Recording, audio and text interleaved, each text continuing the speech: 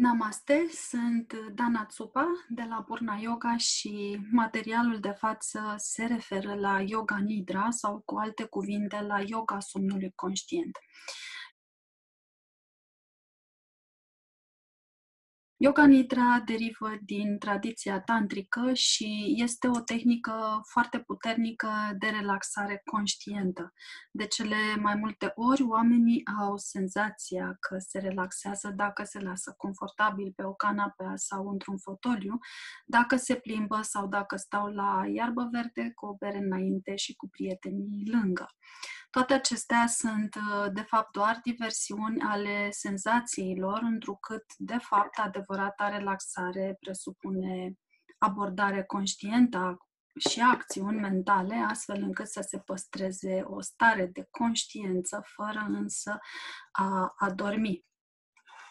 Și, uh, practic, Uh, din uh, acest uh, unghi, Yoga Nidra este o metodă care induce relaxarea completă la nivel fizic, la nivel mental și la nivel emoțional.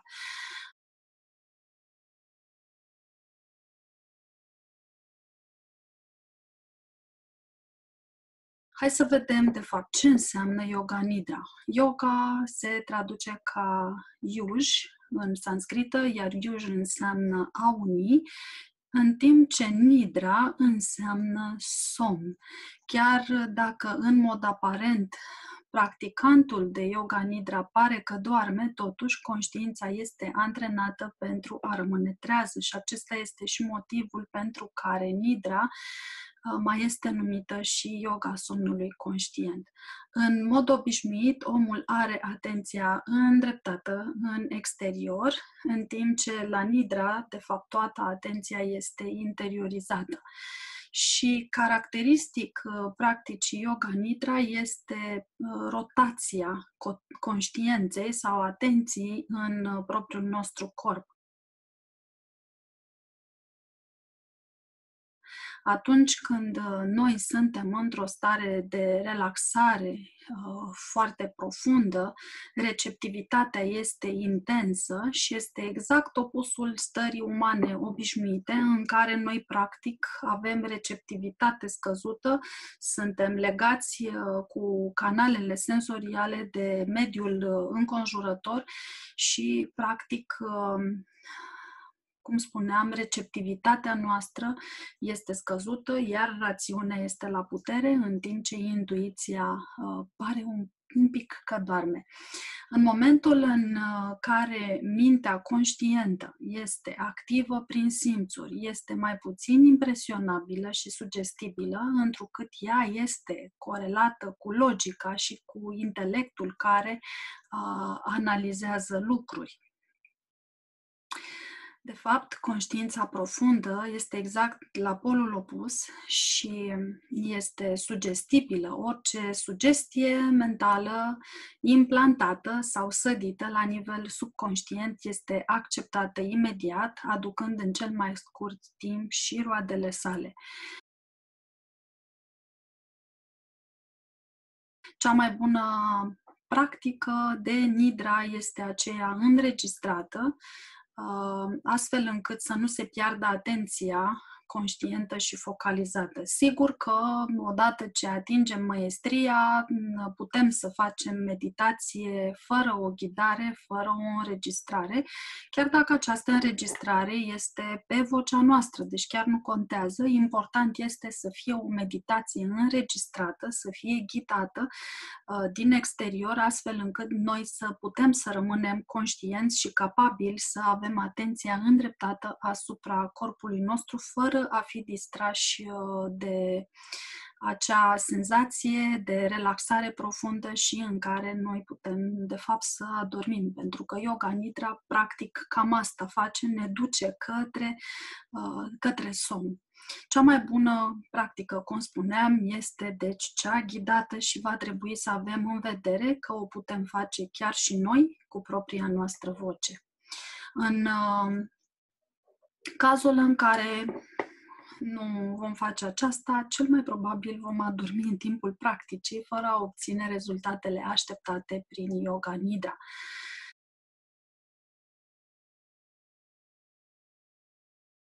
De aceea o putem uh, face după o înregistrare uh, în prealabil, atât dimineață, imediat după trezire, cât și seara. Deci iată că acestea sunt, de fapt, și momentele cele mai propice practicii yoga nidra.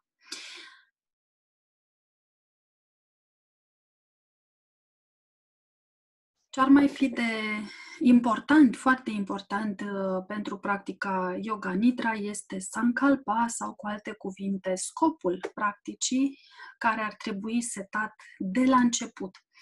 Și aici chiar aș vrea să vorbim puțin, chiar o să dezbatem acest subiect legat de implicarea karmică, de liberul arbitru, dar puțin mai încolo.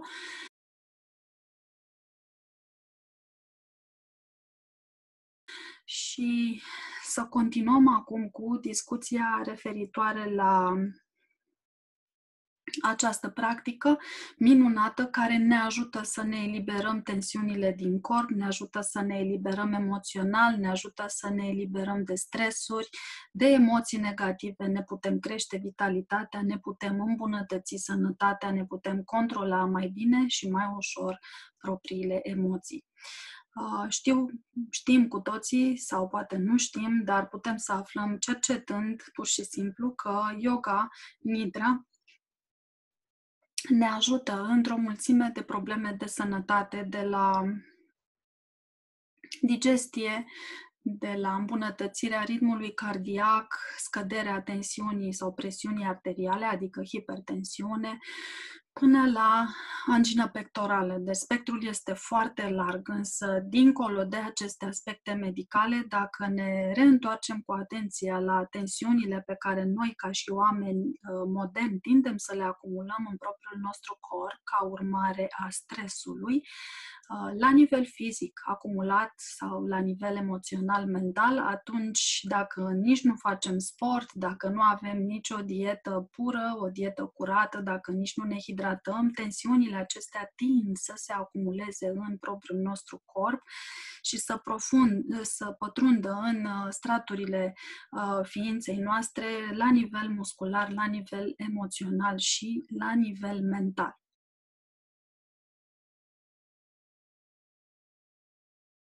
Filosofia uh, yoga menționează, conform lui Swami Satyananda Sarasvati, trei tipuri de tensiuni, acestea fiind tensiunile musculare, care de fapt se și elimină cel mai ușor, pur și simplu prin uh, relaxarea fizică uh, și prin obținerea aceste stări, acestei stări de nidra, tensiunile emoționale care sunt uh, mai dificil de gestionat și de eliminat, întrucât de cele mai multe ori nu suntem deschiși și nu suntem capabili să le exprimăm cu ușurință, Uh, să le obiectivăm liber și într-un mod deschis, refuzând de cele mai multe ori să le recunoaștem și în felul acesta să le și reprimăm. De fapt, acesta este uh, rezultatul imediat acest tip de tensiuni se înrădăcinează adânc în subconștientul nostru și fac uh, cumva imposibil sau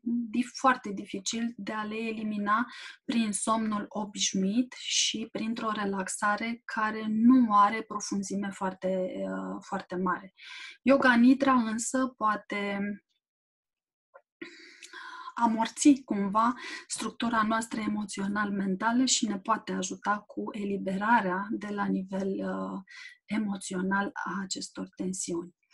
Mai sunt și tensiunile mentale, care de fapt sunt un rezultat al activității mentale excesive și aici majoritatea omului modern, majoritatea oamenilor moderni au uh, această hiperactivitate, sunt workaholici, muncesc foarte multe ore, activitatea mentală este excesivă și, practic, uh, cumva tindem să înregistrăm sau să păstrăm cumva în propria noastră ființă toate aceste tensiuni care se acumulează la nivel mental.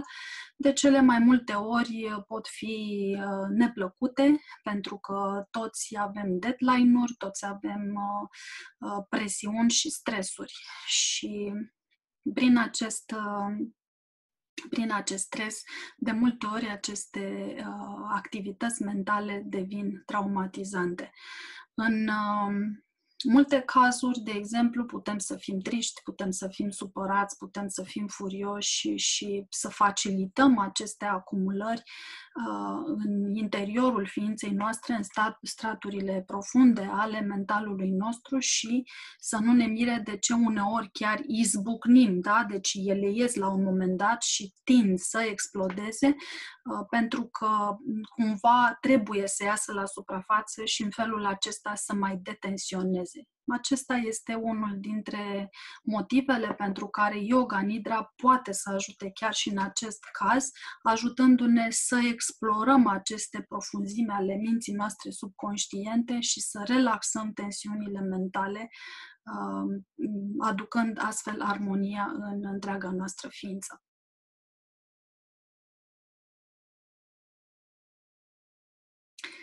Conform lui Swami Shivananda, care este unul dintre cei mai mari iluminați ai planetei și care a trăit în urmă cu aproximativ două secole, um, fie că muncim, fie că suntem în activitate, fie că pur și simplu ne odihnim, așa cum o facem noi în mod obișnuit, nervii noștri sunt la lucru. El așa spune, că nervii noștri sunt tot timpul la lucru dar la rândul lor și aceștia au nevoie de o relaxare. Iar această relaxare este necesară pentru starea de sănătate pe care o putem obține însă numai pe durata somnului. Iar durata somnului, ca și condiție necesară pentru o sănătate foarte bună, variază de la om la om și n-ar putea fi forțată. Nici nu este indicat să forțăm această uh, durata a somnului, dar uh, unanim de acord, atât Swami și Vananda, cât și cercetările științifice moderne uh, spun că noi, ca și om, oameni obișnuiți în activitate, ar trebui să mergem la culcare cel târziu, undeva la orele 22, pentru a ne putea odihni eficient. Bun, hai să vedem acum câteva, uh, câteva idei legate de odihnă și de eficiența practicii Nidra. Marea majoritate a oamenilor sunt tensionați și nici măcar nu realizează acest lucru. Nu au de multe ori controlul mișcărilor pe care le fac, de exemplu cu picioarele atunci când stau așezați pe un scaun și mișcă din tălpi într-un mod haotic și necontrolat sau pur și simplu mișcă din genunchi sau poate că își mușcă unghiile, se scarpină în cap sau fac um, gesturi absolut inconștiente chiar și atunci când uh, se pregătesc de somn, păstrează acele tensiuni în corp, în minte sau în emoții. Uh, și acesta este și motivul pentru care se trezesc de cele mai multe ori obosiți dimineața. Practica Yoga Nidra este de fapt o metodă științifică care ajută la îndepărtarea acestor tensiuni. Și uh, deloc întâmplător se spune că o oră de yoga nidra echivalează cu aproximativ 4 ore de somn convențional, somn obișnuit, fiind de fapt unul dintre ingredientele principale sau secrete ale marilor yogini care au atins starea de iluminare sau stări înalte de conștiință.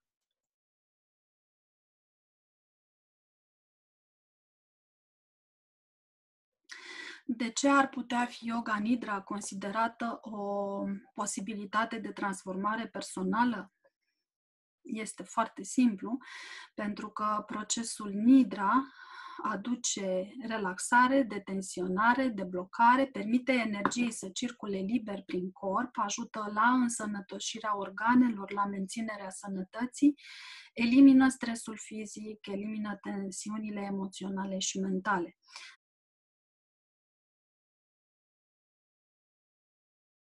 Mai există încă un aspect important în care yoga nidra ajută rapid și ajută eficient.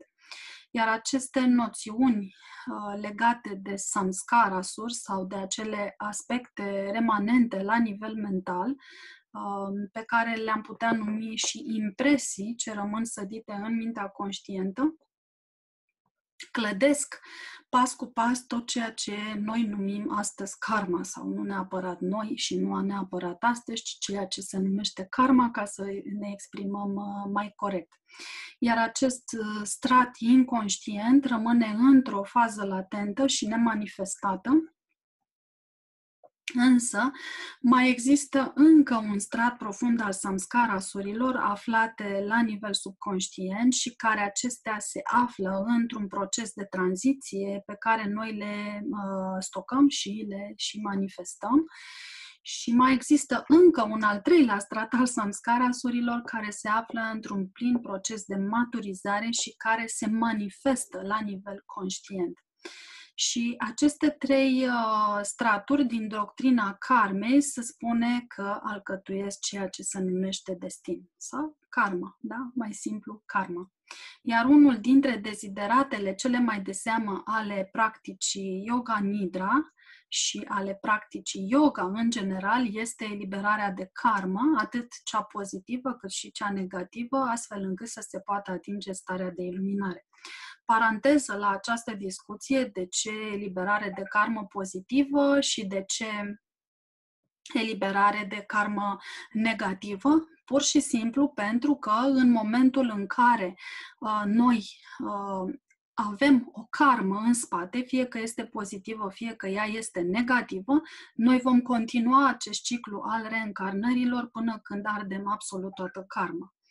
Astfel, Yoga Nidra Uh, poate să aducă această eliberare a samskarasurilor prin practică și în acest mod eliberarea treptată de karma individuală.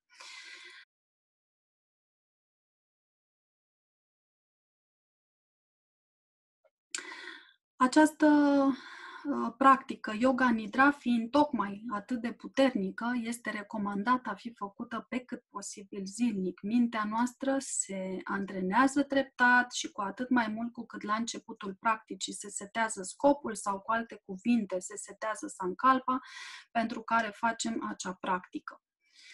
Bun, hai să vedem acum cum se setează Sankalpa. Spuneam că o să revenim asupra acestui subiect și acum iată că a venit și acest moment. Sankalpa este, într-o traducere ușoară, echivalentul noțiunii de scop. Pentru ce facem noi această relaxare, această, uh, această meditație ghidată, acest proces de yoga nidra. Dincolo de aspectele fizice, dincolo de aspectele de sănătate, de eliberare de tensiuni la nivel fizic, emoțional și mental, noi putem să facem această uh, practică și pentru a împlini ceva ceea ce noi ne dorim cu ardoare, și um, aceasta deoarece în momentul în care noi practicăm yoga nidra, intrăm cumva cu mintea într-o stare de receptivitate și sensibilitate la sugestii, mai ales dacă este calmă și liniștită, ceea ce se produce în mod natural când facem practica yoga nidra.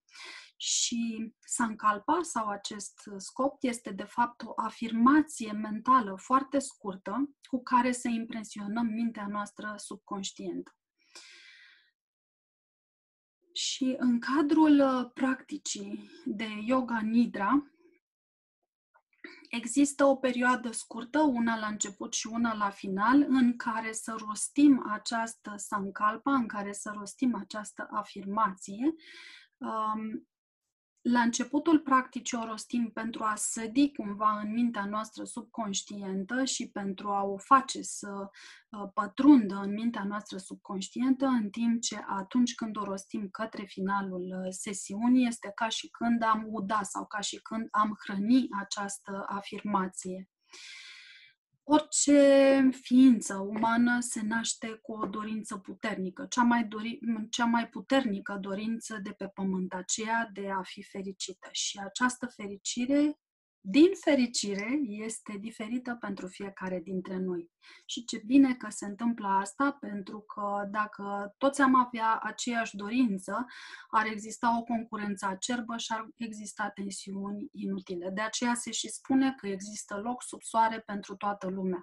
Puțin dintre noi își doresc aceleași lucruri în același timp. De aceea, atunci, totul devine mult mai ușor. Iar această sancalpa este una dintre cele mai ușoare modalități de a obține ceea ce noi ne dorim într-un timp foarte scurt, pentru că presupune a avea mintea calmă, clară și liniștită. Și atât timp cât această sămânță este plantată în subconștient, are posibilitatea de a da cele mai rapide roade, întrucât subconștientul are sau ne pune la dispoziție resurse infinite la care noi nici măcar nu ne putem gândi în mod obișnuit. Hai să vedem acum ce presupune uh, o reușită sau succesul Sancalpei. În primul rând, ea trebuie să fie plantată cu foarte multă voință și cu foarte multă simțire sau trăire interioară, cu o asociere mentală, o asociere emoțională, o asociere cu toate canalele senzoriale, adică auz, văz, um, pipăit uh, sau orice altceva, miros, dacă este cazul, astfel încât ea să devină o afirmație, o trăire personală. Deci, cumva, noi trebuie să fim asociați, trebuie să fim în acea scenă a succesului aici și acum, chiar dacă noi știm că nu o trăim în realitate, pentru că subconștientul nostru nu face diferența între adevăr și minciună. Asta este o lege uh, de bază la care dacă suntem atenți și dacă o conștientizăm, putem să obținem ceea ce noi ne dorim atât timp cât știm cum anume să impregnăm mintea subconștientă. Deci, reiau o frază scurtă rostită la timpul prezent, rostită cu voință foarte puternică, rostită cu emoție, cu trăire și cu simțire, astfel încât să fie sădită instantaneu, imediat în mintea noastră subconștientă, va face și va declanșa procese rezonatorii care vor aduce către noi în viitorul apropiat resursele necesare, căile sau oamenii care ne sunt nouă potriviți astfel încât să se împlinească ceea ce noi ne dorim. Uh, cu toate acestea, ar trebui să ne gândim că rolul principal al, salca, al Sancalpei nu este acela de zână cu baghețică magică care să ne împlinească toate dorințele, ci mai degrabă este acela de a genera, de a crea uh, putere în structura noastră mentală, scopul fiind mai degrabă cel indicat în atingerea stării de iluminare. Acest scop este acela de a influența și transforma întreaga noastră viață, ca și paternuri, ca și obiceiuri, nu numai fizice, ci și mentale, emoționale și spirituale. Și ceva foarte, foarte important, nu vom folosi niciodată, deci niciodată nu vom folosi Sancalpa pentru a, a elimina sau a ne elibera de obiceiuri negative precum fumatul sau alcoolismul sau altceva care este negativ, ci din contră, Sankalpa este pentru a aduce echilibrul, pentru a aduce bucurie și pentru a aduce împlinire.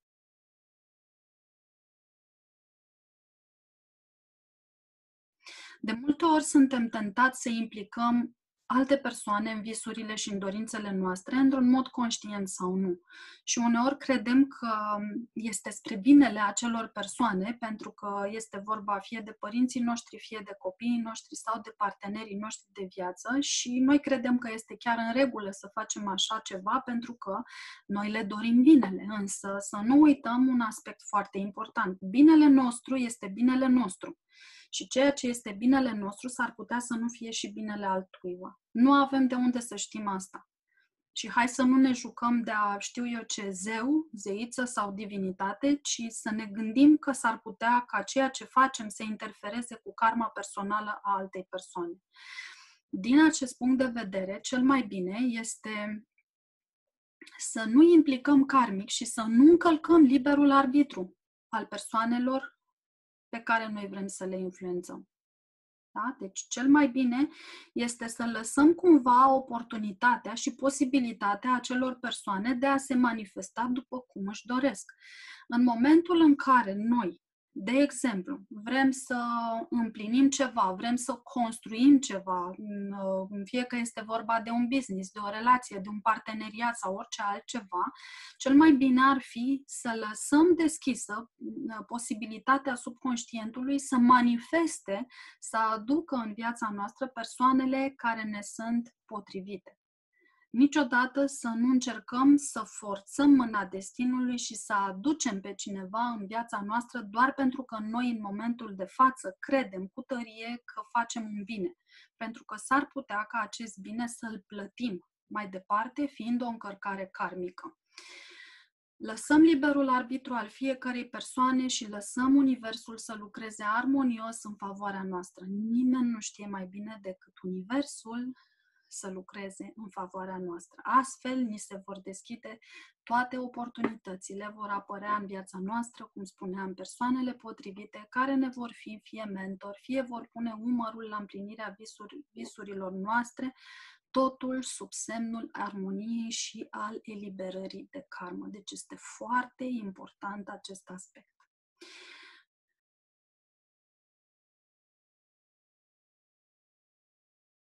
Yoga Nidra nu este de fapt o concentrare a minții. Atunci când noi practicăm Yoga Nidra, pur și simplu ne mutăm atenția dintr-o parte într-alta a corpului, experimentând senzații. Concentrarea nu face altceva decât să ne îndepărteze de la scopul relaxării și curgerea armoniei, um, a, a energiei într-un mod fluid și liber în propria noastră ființă. Și este normal este perfect în regulă ca atunci când practicăm yoga nidra să mai pierdem din instrucțiuni, întrucât mintea noastră conștientă se retrage și vine în față cumva mintea subconștientă. Și atunci când are loc această trecere, practic orice informație rostită se va imprima cu foarte multă ușurință. Toate acestea au loc atunci când noi practicăm în cadrul unei sesiuni ghidate sau când noi practicăm de unul singur acasă. Este perfect în regulă să se întâmple așa ceva.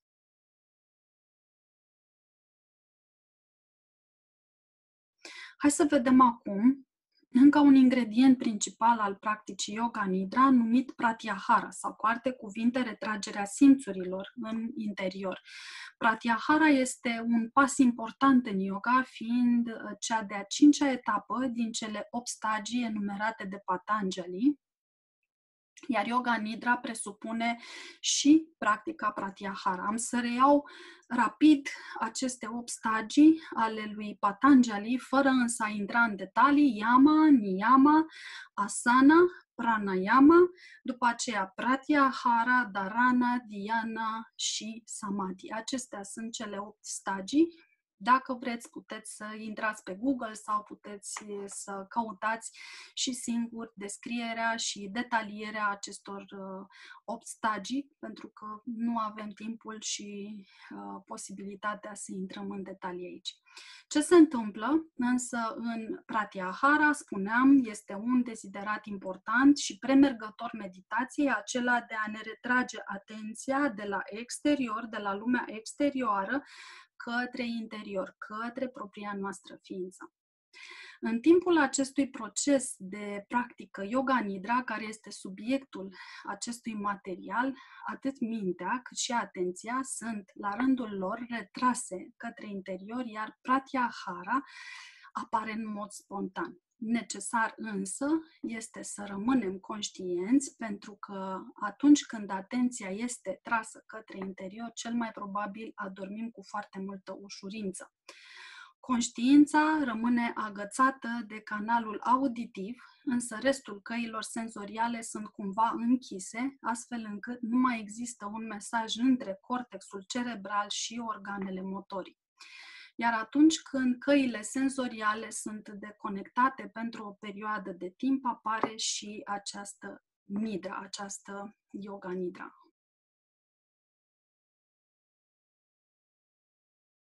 O cercetare științifică, acum privind uh, yoga nidra, conform celor menționate de Swami Satyananda Sarasvati, se, se pare că pe durata practicii Nidra, conștiința noastră se află la diferite niveluri. Uneori este mai aproape de simțuri, alteori mai departe, caz în care canalele noastre auditive sunt active. Iar în cazul în care apare starea de nidra, conștiința noastră se suspendă pentru perioade de timp scurte, ceea ce înseamnă că se face o trecere între mintea subconștientă și starea inconștientă. Iar atunci când pratyahara devine puternică și este profundă, apare izolarea creierului în totalitate, caz în care lichidul cerebrospinal curge din plin și apare și o fluidizare energetică foarte puternică. Undele rezonante care apar în acele momente sunt uh, cele ale unei, ale unei meditații foarte profunde, apar curenți ritmici, unde cerebrale care atunci când lichidul cerebrospinal inundă creierul, stimulează facultățile cerebrale și se creează astfel în alte experiențe psihice. Și, practic, când aceste facultăți psihice înalte apar, se trece dincolo de nidra și se intră în acea stare de pratyahara profundă, în care toate simțurile sunt interiorizate. Scuze.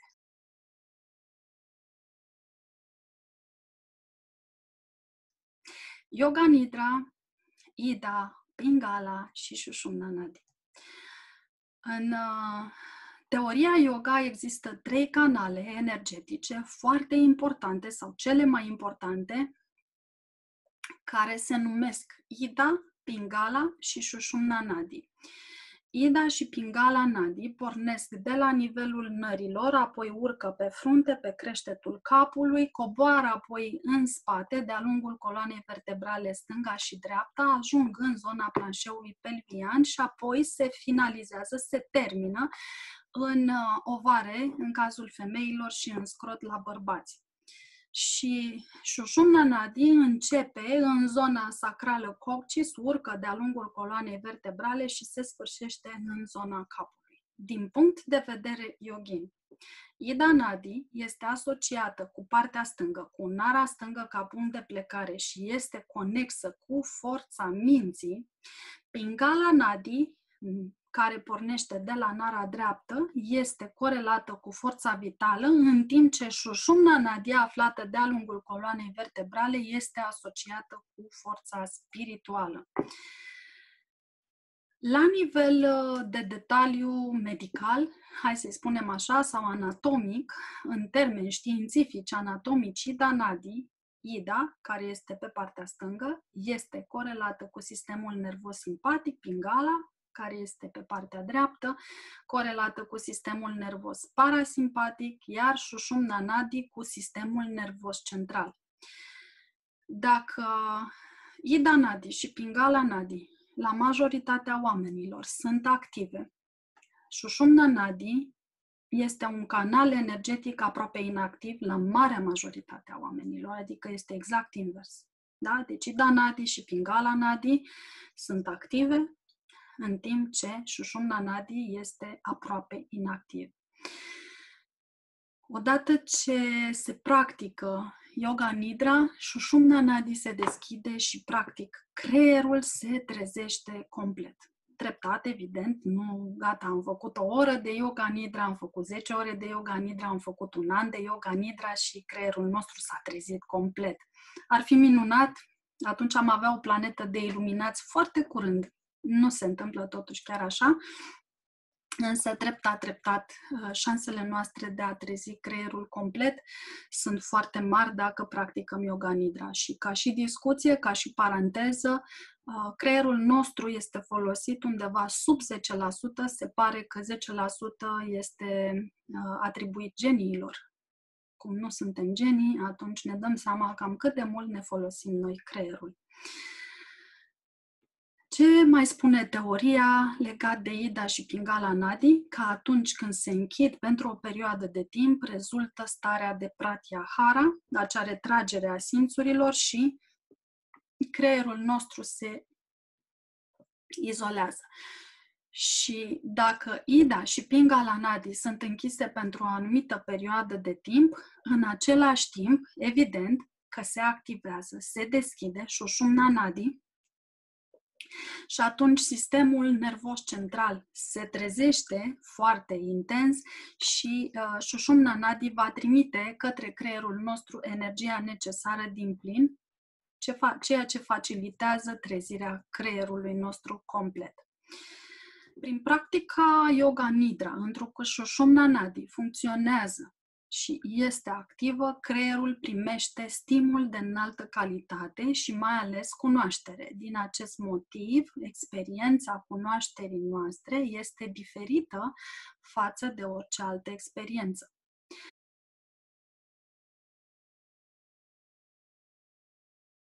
Cum ne poate îmbunătăți Nidra sănătatea? Hai să vedem și acest aspect pentru că este important.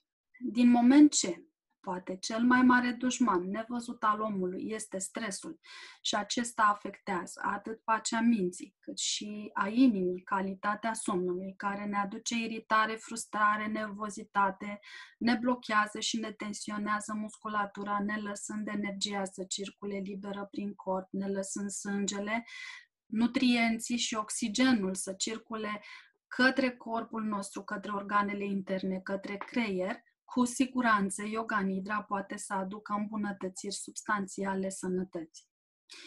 Fie că știm, fie că nu știm, atunci când noi trăim sub stres, practic noi trăim în acel sistem numit fight or flight response, adică trăim uh, pe sistemul luptă și fugi, mai pe românește spus, secătuind nu doar rinichii de energie, ci și producându-se în exces cortizolul, care se cătuiește sau epuizează glandele noastre suprarenale. De multe ori, nici măcar noaptea, majoritatea oamenilor nu se odihnesc, ba din contră, rămân cu tensiunile, cu gândurile de peste zi, fără a putea dormi, toate acestea ducând la o debalansare psihosomatică atât timp cât uh, noi trăim pe fast forward și prin sistemul nostru simpatic, noi nu ne putem îmbunătăți calitatea vieții și nici menține sănătatea. Pentru a ne îmbunătăți calitatea vieții, ar trebui să existe un echilibru între activitatea sistemului nervos simpatic și cel parasimpatic. Și aici, evident că, trăind într-o societate, noi avem nevoie de activitate, avem nevoie de acel sistem nervos simpatic care pune creierul la treabă, care are legătură cu logica, care are legătură cu acțiunea, are legătură cu mișcarea, însă avem nevoie și de repaus, de liniște, de interiorizare, de meditație sau de un proces meditativ, de reflexie, poate, caracteristice sistemului nervos parasimpatic. Și este și motivul pentru care în unele tehnici de nidra se folosesc opusele cald, rece, greu, ușor, lumină, întuneric, de exemplu. Aceste mesaje opuse care sunt transmise creierului în cadrul practicii yoga nidra nu sunt întâmplătoare pentru că în momentul în care aceste informații sunt transmise unei celule într-un mod repetitiv, mesajul nu mai ajunge la creier, acesta fiind un apanaj al sistemului nervos central. În uh, mod obișnuit, atunci când intrăm într-o încăpere, de exemplu, simțim, uh, să spunem, uh, mirosul unui bețișor ars sau, uite, facem altceva. Când mergem într-o parfumerie, începem și mirosim diferite parfumuri și la un moment dat nu mai simțim niciun miros de parfum. De aceea ni se dă ceva care să contrabalanceze sau să anuleze, de fapt, acest, această reacție. Ni se dă să mirosim cafea și după aceea putem să uh, mirosim din nou parfumurile. Exact asta se întâmplă și în acest proces uh, de yoga nidra, cu aceste contrarii pe care le cultivăm, cumva stopăm da, acest uh, stimul să ajungă uh, la creier. Bun. Acesta este de fapt aplica, aceasta este de fapt aplicabilitatea practicii uh, practică în yoga nidra, folosind aceste opuse pentru că prin intermediul acestor impulsuri creierul ajunge să se deconecteze de la senzațiile fizice, apărând astfel o senzație de ușor.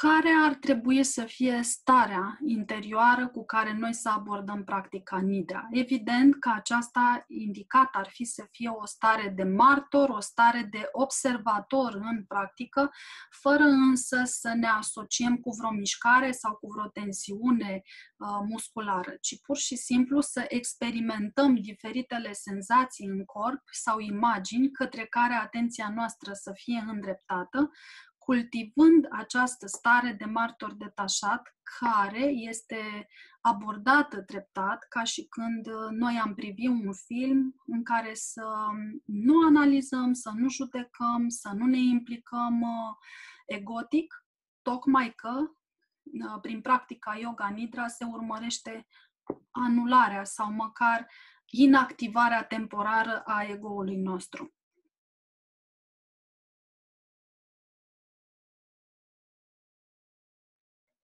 Hai să vorbim acum despre alte considerente utile practicii Nidra, care utilizează diferite simboluri ce se pot rosti mental, diferite mantre, se poate lucra inclusiv cu chakrele și pentru că starea de conștiință este modificată, mai ales că mintea intră cu ușurință în unde alfa, totul devine mai ușor, este mai abordabil, inclusiv la nivelul lucrului cu energiile. Creativitatea noastră crește considerabil, mai ales dacă setăm, setăm sancalpa sau uh, găsirea unor soluții ce țin de intuiție și, evident, nu de logică. Subconștientul nostru, cum spuneam și cum am menționat anterior, va găsi, va debloca resursele uh, și în același timp ne va ajuta să ne îmbogățim cu o cunoaștere la care altfel nu am putea să avem acces. Uh, de exemplu, se știe că Newton a descoperit legea gravitației uh, odihnindu-se sub un măr. În același timp, Van Gogh povestea că picturile îi apar în vis. Napoleon Bonaparte se pare că se retrăgea uh, în cortul său de campanie pentru 20 de minute și practica yoga nidra pentru a se regenera rapid și pentru a putea să conducă armatele sale către uh, succes, către glorie. Și nu sunt singurele exemple, acestea sunt exemple de oameni, hai să spunem, care nu au avut neapărat o înclinație spirituală, însă, cum spuneam, această practică a fost apanajul marilor iluminați, pentru că toți au făcut-o într-un mod direct, chiar dacă yoga nidra nu a fost calea prin care ei au atins iluminarea. Toți au practicat-o însă această metodă a somnului conștient. Bun.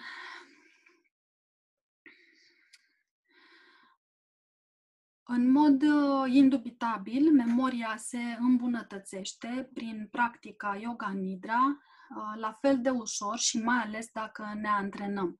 Putem, de exemplu, să revizuim um, ca și metodă de antrenament ziua care a trecut, putem folosi mantre, putem să folosim cifre, numărătoare, putem să vizualizăm îmbunătățirea activității organelor noastre, putem să îmbunătățim calitatea emoțiilor noastre și dezvoltarea, de ce nu, a empatiei.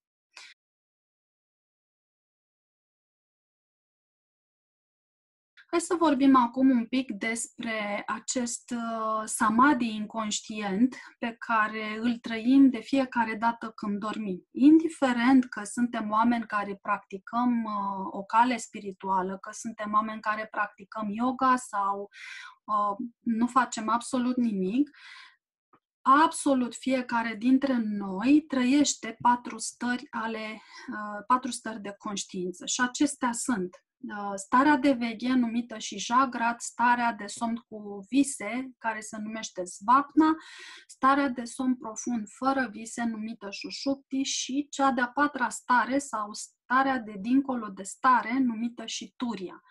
Și orice om, cum spuneam, trăiește aceste patru stări zilnic ultimele trei, adică Zvabna, Șușupti și Turia, somnul cu vise, somnul profund fără vise și cea de-a patra stare, clar țin numai de perioada somnului. Zvapna, Șușupti și Turia se succed ciclic, ciclic pe parcursul somnului, însă cea mai importantă din ele este cea de-a patra stare, Turia sau starea de dincolo de stare, întrucât este asociată cu perioada cea mai bună în care corpul nostru se regenerează. Și studii științifice făcute pe șoareci au arătat faptul că atunci când au fost treziți fără a fi lăsat să intre în starea de turia, corpul lor a început să se degradeze rapid și în final a survenit moartea.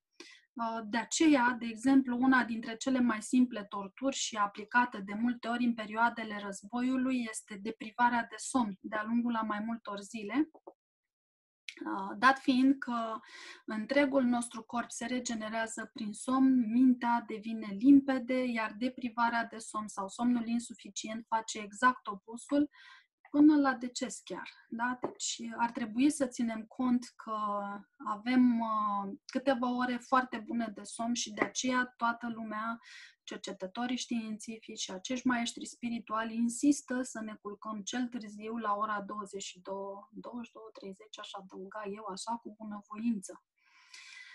Bun. Din punct de vedere spiritual, această a patra stare sau cum este numită Turia, este asociată cu samadhi inconștient. În filozofia Samkhya și în filozofia Vedanta, starea de somn profund și turia sunt asociate cu samadhi. În starea de samadhi nu există conștiința timpului, nu există conștiința spațiului, nu există obiecte sau nu există ego. Ego-ul este interiorizat sau mai degrabă retras în timpul somnului, în timp ce în starea de samadhi ego-ul este topit sau anulat, anihilat. Da? Deci, cumva, toți trăim această stare de uh, samadhi inconștient în fiecare noapte. Dacă am reușit să conștientizăm acel samadhi, ce bine ar fi, ar fi minunat, am atinge starea de iluminare just like that.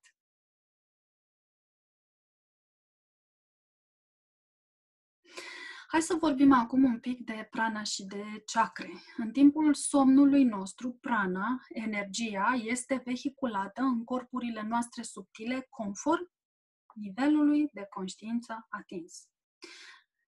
Astfel, oamenii obișnuiți, energia pranică operează în special în primele trei chakre, conform cu activitățile zilnice pe care uh, le avem sau le desfășurăm și preocupările noastre.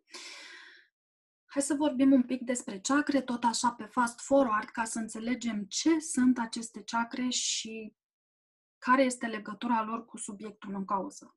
Sistemul de chakre este menționat în tradiția yogină și nu numai, și spune că chakrele sunt un fel de noduri energetice cu ghilimelele de rigoare, ele sunt numite într-un mod poetic lotuși și acestea sunt sisteme energetice subtile de emisie și de recepție a energiilor. Deci ele vehiculează energia. Primim și dăm energie prin intermediul acestor chakre.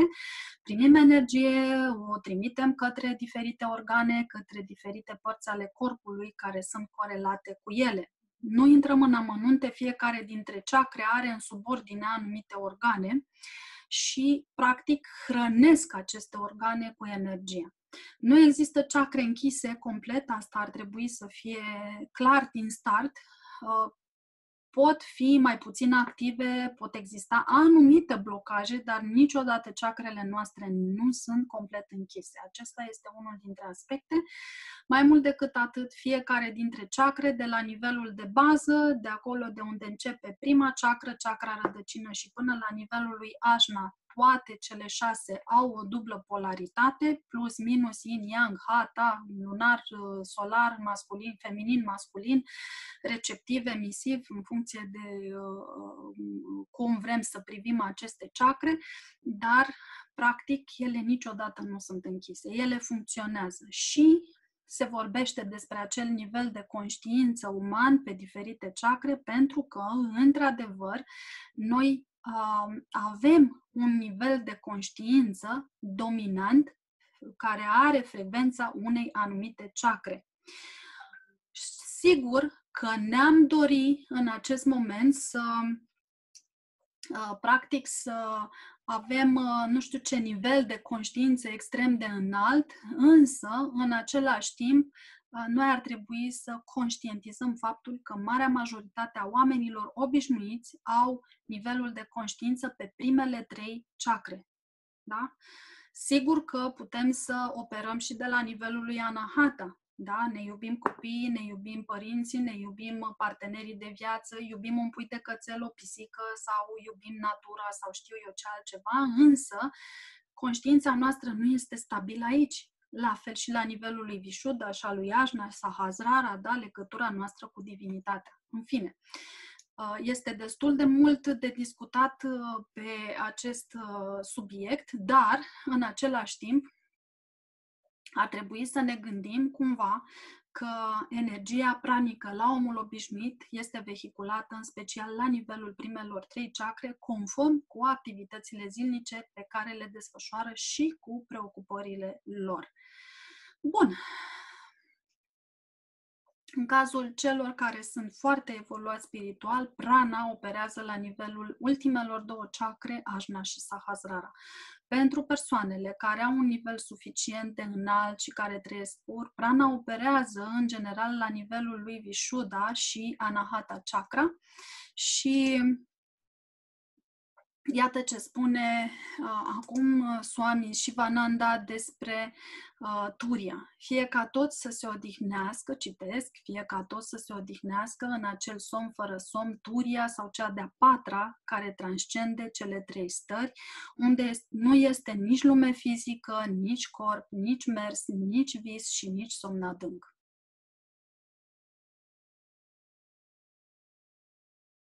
Nidra conștientă pe parcursul somnului și trecerea din lumea fizică. Există un aspect nu mai puțin important la care practica Nidra ajută enorm sau este una dintre cele mai indicate a fi practicate și anume somnul conștient sau, cu alte cuvinte, păstrarea conștiinței pe parcursul somnului. Și acum o să vorbim un pic despre ceea ce Paramahansa Yogananda a descris în autobiografia unui yogin, uh, unde reîntâlnirea sa cu gurul divin Sri Yuktesvar, reînviat pentru a-i destăinui lucruri de un rafinament subtil, rar întâlnit, ne face să învățăm, să înțelegem, să avem o imagine mai clară despre univers. Yuktesvar povestește uh, despre universul fizic, despre universul astral și cel cauzal, despre călătoria sufletului reîncarnat între aceste lumi până când se atinge starea cea mai înaltă de iluminare. Pe scurt, uh, Yuktesvar vorbește despre acest ciclu al reîncarnărilor și hai să ne imaginăm acum pe scurt, așa cum spunea și Sri Yuktesvar, că universul fizic ar fi ca în acela unui balon, universul astral ar fi ca balonul însă și iar universul cauzal cât universul pe care noi îl știm. Și acest proces de dute vino, de reîncarnare între universul fizic și universul astral se produce de mii de ori, milioane poate de ori, până când ființa umană se detașează cumva, nu mai este atrasă de lumea fizică, de plăceri, nu mai, este, nu mai trăiește la nivel de emoții puternice, gen ură, dușmănie sau răzbunare față de cineva care în altă viață, eu știu ce rău i-a făcut, dar nici de partea cea bună, de aceea vorbeam anterior despre arderea karmei pozitive și a celei negative. Și deci această plimbare, du-te vino între uh, lumea fizică și lumea astrală se produce de mii și mii și mii de ori până când ființa se va elibera de această lume fizică. Nu va mai fi atrasă de lumea fizică, va evolua. Atenție, nu e vorba de depresie, ci este vorba de o stare de martor, de o stare de pace și de a dori să evoluăm cât mai mult. După care, jocul acesta al reîncarnării între universul astral și cel cauzal se va produce la fel de mult, de mii și mii și mii de ori, doar că dacă viața pe pământ este undeva uh, cuprinsă între 60 și 80, 100 de ani, poftim, în momentul în care noi ajungem să ne reîncarnăm în uh, planul astral și să glisăm către planul uh, cauzal, aceasta se va parcurge pe mm, perioade triple, quadriple sau știu eu de câte ori mai mari, ceea ce va face ca și durată în ani terestri să fie enormă. Și ce spune uh, Sri Yuktesvar este faptul că uh, legătura aceasta directă între Nidra și somnul conștient cu practici înalt spirituale uh, ne ajută să conștientizăm uh, momentul de trecere de la, dintre viață și uh, moarte. Și aceasta este cunoscută, de exemplu, și menționată foarte clar în Bardo Todol, în uh, tradiția budistă, în care se vorbește despre Chikhai Bardo, adică acele trei zile și jumătate după ce se instalează moartea fizică a omului obișnuit, care este inconștient. Deci, uh, practic se spune că în primele 20 de minute după ce uh, uh, ființa a părăsit lumea fizică, ea intră în, sau mă rog, um, face cunoștință, ca să zic uh, mai simplu, cu lumina clară principală, pe care, dacă o recunoști ca fiind natura ta uh, proprie, uh, game over, da? Deci, practic, ai atins starea de iluminare. Și dacă ai ratat primele 20 de minute, mai ai șansă până la 3 zile și jumătate Uh, de a, uh, de a cunoaște sau de a recunoaște lumina clară secundară și de a accede către un plan cauzal foarte înalt. Din păcate însă, după trei zile și jumătate de-abia ființa umană își uh, recapătă conștiința și iese din această stare de leșin, hai să-i spunem așa. Bun, și probabil că una dintre cele mai înalte și dintre cele mai importante valențe ale practicii Nidra este aceea de a păstra această stare de conștiență pe durata somnului, astfel încât, la momentul trecerii din lumea fizică, să putem evita acest ciclu al reîncarnărilor și să atingem o stare cât mai înaltă de conștiință. Uh, aici Swami Satyananda specifică faptul că într-unul din studiile sale egoul este capabil să se miște în zone anumite ale creierului, în timp ce prin practica nidra creierul devine omogen, iar sinele Atman poate pătrunde întreaga structură. Prin urmare, dacă se practică această formă de conștiință dinamică interioară și învățăm cum anume să ne menținem conștiința, Uh, pe parcursul somnului și uh, în același timp să ne antrenăm, uh, vom ajunge să o păstrăm pregnant, puternic și definitiv pe durata somnului. Acesta a fost materialul despre yoga nidra. Sper că ți-a plăcut. Urmărește și uh, în meditațiile înregistrate pe care le poți găsi pe shop-ul meu online. Te salut! Namaste!